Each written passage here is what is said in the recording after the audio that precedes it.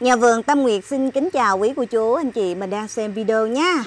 Và ngày hôm nay thì à, có một căn nhà cấp 4 à, Ngay à, nhà nghỉ Hoa Sứ trên đường tỉnh lộ 8 năm. Căn nhà mình ngay chợ Gò Đen, à, Bến Lức anh chị ơi. Và từ nhà của mình ra 50m nữa là tới đường tỉnh lộ 835 anh chị nhé Ra chợ Gò Đen. Vị trí này thì ngay chợ Gò Đen luôn, ngay chợ Bình Chánh luôn Với một căn nhà diện tích nhân 4 mét rưỡi Dài tận lên đến là 20 Nhà mình có sân trước, hai phòng ngủ và có phòng khách. À, Nhà vệ sinh đầy đủ với hướng Tây Nam à, Với tổng mức giá là 1 tỷ 9 Sổ hồng riêng dân cư đông đúc nha. Vị trí đẹp, đường ô tô vào tới tận nhà. Và căn nhà này thì à, nhà cấp 4 dễ thương. Anh chị nào mà cần tìm nhà cấp 4 không phải leo lầu thì chúng ta có thể về đây ngay chợ Gò Đen. Đây à, 50m tới mặt tiền đường à, nhựa lương và dân cư ở đây đông đúc và nhà mình kế bên khu công nghiệp luôn anh chị ơi. À, nhà đẹp vị trí đẹp à, nội thất có tặng cho mình một bộ bàn ăn à, bộ ghế salon à, và căn nhà với tông màu trắng cam. Rất là dễ thương và đường trước nhà đường ô tô dân cư thì đông vui nhà mình có cổng luôn rồi anh chị nha. Đây là mặt diện của căn nhà mình là kiểu thiết kế mái Thái rất là sang trọng. Nhà mình sẽ có một cái sân phía trước để anh chị có đậu được ba chiếc xe Honda.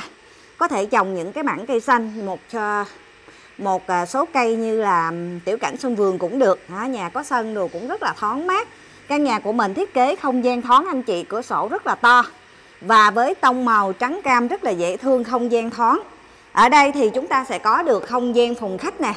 À, Có cái vách ngăn cách, phân cách giữa phòng bếp à, và phòng khách luôn Và được tặng bộ ghế salon để tiếp khách. Nói chung căn nhà này với tông màu à, xám bên trong.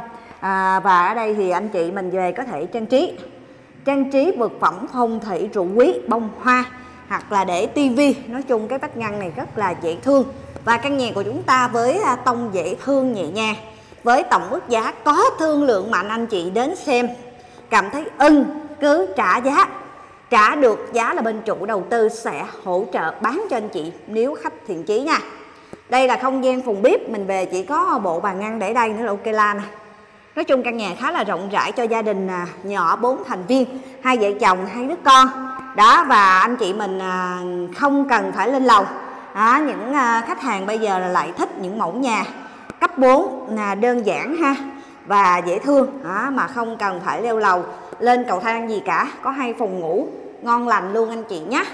Mà đường xá thông toán vị trí đẹp gần hướng quốc lộ 1A di chuyển lên thành phố ngay chợ Gò Đen của Bến Lức anh chị nha. Đó nhà cấp 4 ngay nhà nghỉ Hoa Sứ đường ô tô nhà mình có hai phòng ngủ thông thoáng chỗ này để máy giặt nè.